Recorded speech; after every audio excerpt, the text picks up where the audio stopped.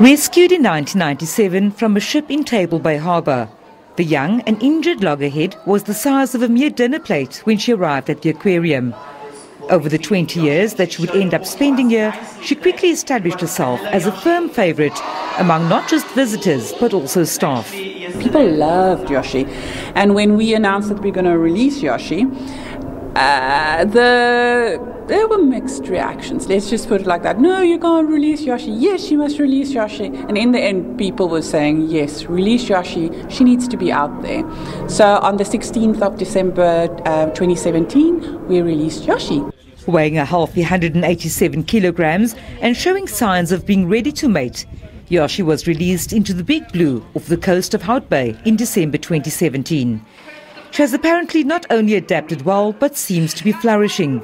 First heading up to Namibia and Angola, Yoshi did an about turn and headed back past Cape Town, going east. She has done 35,400 kilometers and she is now in Australian waters.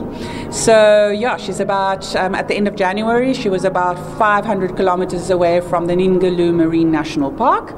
And, uh, well, it's now, we just one, we're holding, you know, holding thumbs, holding fingers, um, that her tag will continue um, to send signals, and two, that maybe she's an Australian turtle, and we can help with the genetics on that side.